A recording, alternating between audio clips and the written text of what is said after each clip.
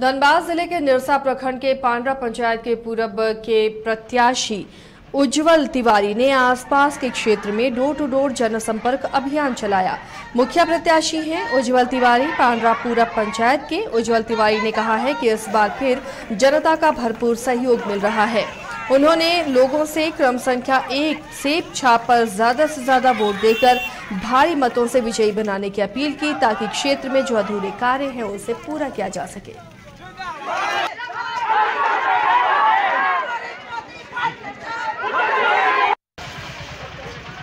हम जनसंग संपर्क में निकले थे।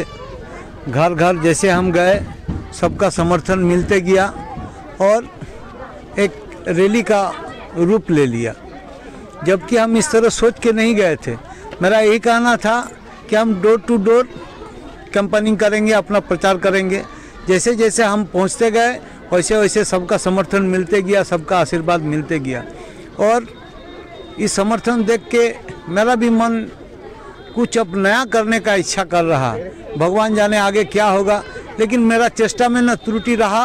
अब तो और ज़्यादा चेष्टा रहेगा। मुखिया अच्छा मुखिया है। ये अच्छा आगे अच्छा करेगा। बस कर रहा है। मुखिया खराब नहीं है। मुखिया अच्छा है। उज्जवल तिवारी जो मुखिया है ना, हम काफ़ी मुखिया है।